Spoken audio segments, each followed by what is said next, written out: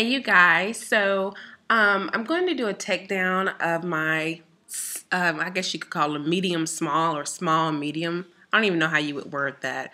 But these are small medium twists. I've had them in now for two weeks.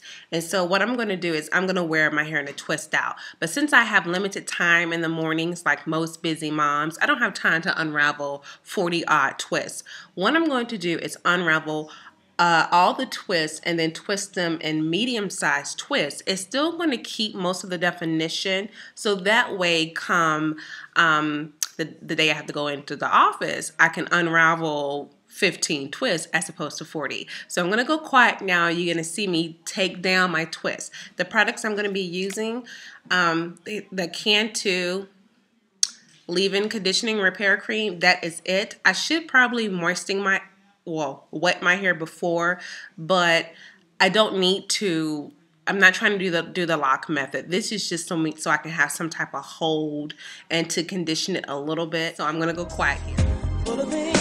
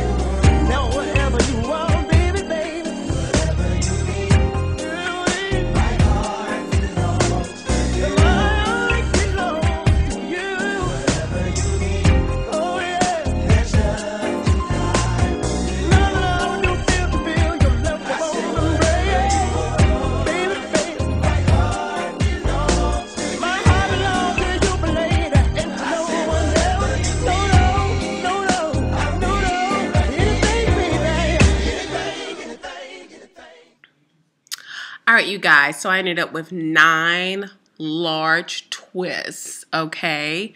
Um, so, what I'm going to do is um, I'm going to pull this up and away. See how I can do this. And I have an Altruist Goody band in case I got to go run some errands. Ooh, that's tight. And I want my ends pretty much put together. I don't want them flying out all the way. So I'm going to take another Goody band and just tie that around the ends like that. That'll keep my ends from flying all the round. Yeah. All right, you guys. So that's it. You shall see me in about two more days. Y'all, anyway, y'all should see me in about two more days. Okay, bye.